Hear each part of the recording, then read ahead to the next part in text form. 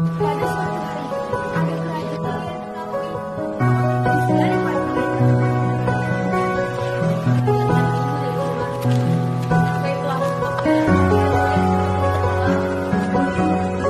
suatu hari, ada kerajaan yang bernama Raja Kalingga.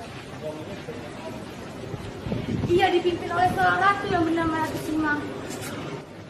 Ia memimpin kerajaan dengan adil sehingga rakyatnya hidup makmur dan sejahtera. Yang mulia Ratu ingin berbicara. Rakyatku, perlu kalian ketahui bahwa kita harus mempertahankan keadilan. Maka dari itu, tidak boleh ada korupsi, kekerasan, maupun pencurian di kerajaan ini. Walaupun itu Perdana Menteri, bangsawan, maupun putraku sendiri. Bunda Kerajaan Kalingga, ajaran muda di kerajaan ini pun sangat disegani para pendeta di luar kerajaan.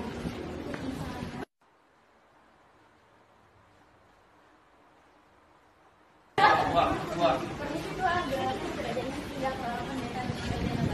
Benar nyonya, dia adalah pendeta di kerajaan kami. Dengan apa dia tinggal? Terus ke utara. Di tempat petapa, seorang pendeta bernama Jana Badra sedang bertapa. Kemudian datang seorang pengawal dan menghampirinya. Permisi Tuhan, saya ingin meminta kemurahan diri Tuhan untuk mengajarkan ilmu dari Tuhan untuk dibawa ke kerajaan kami. Baiklah di sana. Mari. Di lain tempat, Ratu Sima sedang berbincang dengan menteri-menterinya di istana. Menteriku, Ada apa Ratu? apakah selama ini ada yang melanggar kitabku? Tidak ada yang Ratu. Baiklah, akan puji. Jatuhkan koin emas di atas tanah kerajaan. Bagi siapa pun yang mengambil dan menyentuhnya, penggal kepalanya hidup-hidup. Baik Ratu. Ayo pangeran, kejar aku. Hati-hati putri, kamu terjatuh. Kau menyentuh yang bukan milikmu. Tapi pangeran, aku tidak sengaja menyentuhnya. Kamu tahu kan, jika aku menyentuh ini, pasti aku akan dihukum. Kenapa putri? Tidak ada satu orang pun yang tahu tentang ini. Biarlah aku yang dihukum. Pangeran, apakah kamu benar menyentuh koin yang bukan milikmu?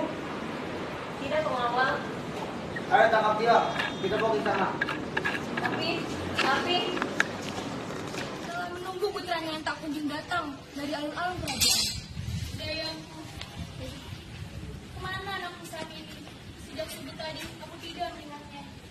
Ratu yang agung, sejak pagi-pagi pangeran menghabiskan waktu di alun-alun kerajaan Dengan siapa ia Dayang?